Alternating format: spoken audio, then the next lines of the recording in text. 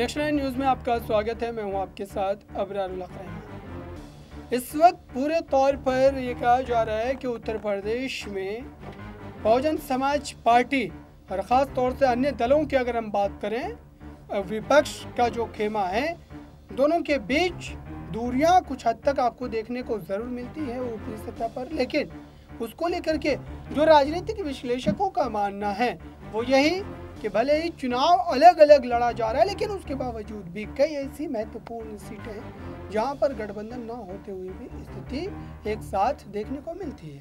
और ख़ास तौर पर उन सीटों पर बयानबाजी से भी परहेज किया जाता है। कुल मिलाकर के ये कहा जा सकता है कि इसका राजनीतिक तौर पर नुकसान होने के बजाय कहीं ना कहीं फ़ायदा उठाने की कोशिश की जा रही है, चूँकि भारतीय जनता पार्टी और साथ ही एनडीए के जो साथी दल हैं, वो पूरे तौर पर ये कोशिश कर रहे हैं कि विपक्ष के वोट बैंक को पूरी तरीके से जो एक बिखरा के तौर पर दिखाया जाए और ये कहा जाए कि विपक्ष का वोट जो है बढ़ रहा है और इसी कारण जनता कहीं ना कहीं उनके पक्ष में जो है जाने से परहेज करेगी। इस तरीके की स्थिति जो है सामने निकल करके आ रही है।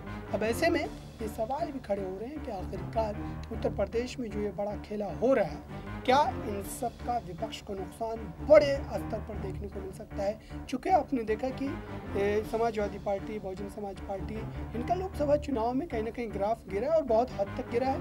यही वजह है कि भारतीय जनता पार्टी इस बार राम मंदिर के जो है, बनाए जाने के बाद और भी ज़्यादा एग्रेसिव तरीके से राजनीति कर रही है।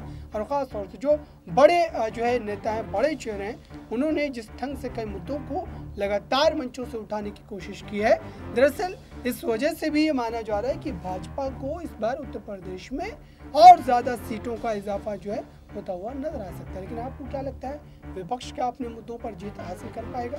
कमेंट बॉक्स में ज़रूर बताएँ। जुड़े रहे नेक्स्ट न्यूज़ के साथ।